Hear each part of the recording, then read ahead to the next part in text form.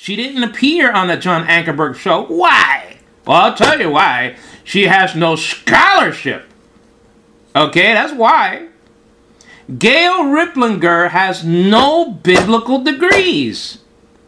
She, she has no biblical degrees at all when it comes to the Bible. The woman was an interior designer, guys. Now, this guy, I don't know if he knew it or not, okay? Now, this is the scene. Now, maybe I have a picture of it, I don't know, okay? But this is the scene anyway. This dear couple, I say dear couple because they were humble. They're they're interviewing Gail Riplinger, okay? Uh-huh. So they, she's getting interviewed by this dear couple. Okay. That's not a big deal. That's good. But the thing is, so he reads for about two minutes her scholarship. And that she was a university a professor, she has these degrees, and and and and and it goes on and on and on this laundry list of of of of of, of scholarship. However, it doesn't tell you nothing okay about her biblical scholarship. It just says that she's a she was a university professor and she was this and she was that but it, it, it says nothing about the bible. Nothing it doesn't say that she has a doctorate degree in theology or she has a master's in, in, in Christian history or or it doesn't give you any of that information. It says that she had she was she taught in college. That's all it is. And let me tell you something, when you're attacking the Bible, when you have the guts, okay, to speak against the word of God, you better have some scholarship. Not gonna help you anyway, but at least, okay, we will know that you have some background in the Word of God. But this woman has no background at all with the Word of God. None. Okay, and I'm not talking about now because it's 20, that was 20 years ago. Alright? That program was about 1993, 1994. So she might have had at least a certificate, you know, by then anyway. You know what I mean? I mean, give me one cert, at least a certificate, okay? I mean, give me a Cracker Jack diploma, something, all right? I mean, get it from a a bubblegum machine, anything. give me some scholarship. But this lady, okay, seems to be nice. She's kind of cute, okay? She is, I can't deny it. But the thing, and that's why people are drawn by her. Now she's not Marilyn Monroe. Let's just get, let's just face it. She's not. She's not Marilyn Monroe. Okay, she's not that, and not and not. Okay, she's a handsome woman. She's a pretty creature. She was probably cuter when she was about 17, okay? Alright? So I can see why people are duped by her and her teachings okay, on the internet or whatever, on you know live programs, whatever. I don't care. But this woman has no had no scholarship, nothing. She had no degrees, okay? She has no scholarship, okay? And if you don't have any scholarship, you can't speak against the Word of God. You can't. That's it. That is it. Okay? So I'm opening up this program, all right, letting you know that I saw, uh, you know, at least one third of the interview. I'm not going to be, you know, from 12 o'clock in the morning to 2 o'clock in the morning, all right, looking at a three hour interview. I got to get some sleep, okay? To do programs like this and to study for my debate that's coming up, by the way, of the King James. It never goes away. It's like bubblegum on your shoe, this topic. All right? Why? Well, I'll tell you why, folks, dearly beloved sheep of the living God. I'll tell you why, beloved. And I love you, all of you. Even you King James characters, as strange as ye are. See, I used ye, you know, little King James ling- uh, lingo. okay? Well, let's face it, she's not Marilyn Monroe. She has no scholarship, but, however, okay, she does have appeal. She is a pretty woman. Alright, I'll give you that. After that, there's nothing else to talk about. She seems to be a wonderful a woman that you can talk to. Okay? but it's all fake. Why? Because she says you have to be humble, okay? And when you talk to her about the King James topic, she runs around in circles, gives you nothing. She has no scholarship, no degrees, no diplomas, nothing. Okay, that's what she has. She has nothing. And nothing plus nothing equals what? Nothing. Zero. Zilch. Nada. That's what she has. I'm here to expose Gail Riplinger as a fraud. That's what I'm here to do. All right? That's this program. I'm here to tell you that all her scholarship uh, is deplorable. In the interview and in in books like okay New Age Bible versions, which is a, which is a disgrace. I'll give you I'll give you I'll give you an example. Okay, let's reason. Let's reason, says God. Isaiah said, "Let us reason," saith the Lord. Alright? Though your sins be as scarlet, or red as crimson, okay, they shall be like woolen snow. So let's reason. Let's come together, alright, and be logical, okay, about all this stuff. About all this garbage by Gail Riplinger, who was a fraud. That's what she was. I don't care. If you're gonna talk against the uh, against a Bible version, you better have some sort of scholarship. And if you don't, out you go. Give me a diploma. Give me something. Give me background. Give me some teaching that will back up your statements. And if you don't, well, you're a fraud. That's all I'm saying. Well, let's give you an example. She says that the Greek edition of 1881, now remember there are a lot of Greek editions of the New Testament and so on. Okay? Alright? Alright? Well, let's check it out. And what and what and what is what's the topic? What's the deal? Well, the deal is okay. That 1881 edition was done by B.F. Westcott and Hort. Now, let me tell you something. Okay, she says that B.F. Westcott was a spiritualist. He was a fraud, and you can't trust that Greek edition of the Bible because they were frauds. They were spiritualists. They were into, you know, abracadabra and all that other stuff. Well, let me tell you something. She doesn't know what she's talking about because the one that was a spiritualist, okay, was not B.F. Westcott. It was W.W. Westcott, okay? Gail Riplinger, don't you know your ABCs, your one, two, threes, huh? But you don't because you have no scholarship.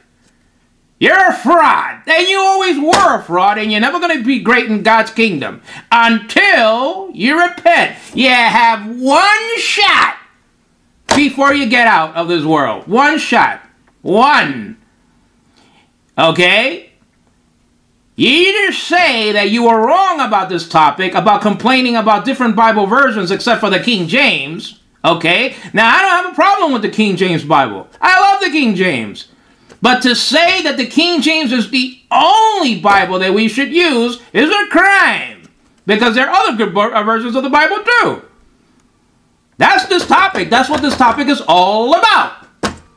This topic is about that the Christian has the absolute 100% freedom to use any good Bible version that he wants or she wants to do or read.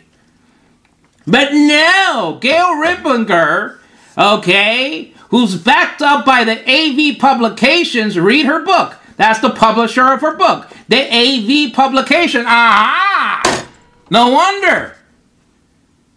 The AV Publications, there you go. There's jealousy in there. There's envy. There's scarred. Okay? There you go. Folks, I'm here to tell you if you're if you're young, middle age, old age, rich or poor, okay, I don't care. There's not only one good version of the Bible. You can use more than one. But no, Gail Riplinger comes on, on the scene, okay, and says that you can only use the King James. Well, I to tell you why you're listening to the lady. The lady has no scholarship. She has nothing. Okay? She has no credentials. She never was a teacher in a Christian college at all, and she's making out a book, and she's making out a book to fool you guys, okay? Because the NIV and the NASB are outselling the King James. Aha, that's all it is. But let's get back to Westcott and Hort. Westcott, B.F. Westcott and Hort, okay, wrote the Greek New Testament edition in 1881. Now she has some beef against these people, therefore, okay, misrepresenting them and then ruining their reputations, or at least trying to anyway. Why? Well, so you won't you won't follow the, the new versions. But this is what she did wrong, okay? And she even admitted, admits it in her book. She says, okay, that B.F. Westcott, okay, was a spiritualist or some somebody poking in abracadabra and spiritual, you know, spiritualism or whatever you call it. But it's not Westcott, B.F. Westcott that was doing this stuff. It was W.W. Westcott. She gets two people confused. B.F. Westcott was not a spiritualist. He was only investigating it, says his, ho- says his son Arthur. He was never involved in the, in the ghostly guild, okay? And any other club like that meaning uh, to, to, to, to, to, to, to go deep into the subject, to be part of the subject and, and all that stuff. He wasn't part of a, of, of a club that, that, that did these crimes. He was only there to investigate it. Just like I investigate Mormonism and, and Jehovah Witnesses and Roman Catholicism and Islam, and on you go. But no, she doesn't understand that B.F. Westcott was born in 1825 and W.W. Westcott was born in 1848. They're two different people. Okay? She her scholarship is disgusting. It's a disgrace. And you want her and she wants you to believe her book. Are you are you joking? Okay? You must be joking. This is a joke. Let's face it. This is a King James joke, right? It's a joke. Alright? I thought that King James had three passions hunting, reading, and writing, not joking around. Alright? But she gets this guy confused. Okay? I can't believe you guys wake up. Wake up, up, up, up, up, up, wake up and smell the Sanka. She's a fraud. That's all she is. Okay? She tells you that B.F. Westcott was a spiritualist and he wasn't. It was W.W. Westcott. Didn't you go to elementary school? Gail Riplinger, didn't you or did you? Don't you know your ABCs and one, two, threes? Don't you know the difference between uh, B.F. Westcott and W.W. Westcott? Do you know the difference between B and F and W? B.F. Westcott was never a spiritualist, okay? He was making a wonderful Greek edition of the Bible, and it stands forever until God comes back. All right? B.F. Westcott, again, ladies and gentlemen, was not a fraud. He was not a spiritualist. Okay, you can go to any encyclopedia, okay, of the, of the occult and the cults and stuff like that, okay? Any encyclopedia, you know, paraphysical, parapsychology, all you want. You're not going to find his name there. And not and not in Hort's name either. You're going to find W.W. Westcott. You're going to find him. If you want a Westcott being a spiritualist, you'll see that Westcott, okay, W.W. Westcott was the fraud. Not B.F. Westcott that did the Greek edition of the Bible. This is what's going on.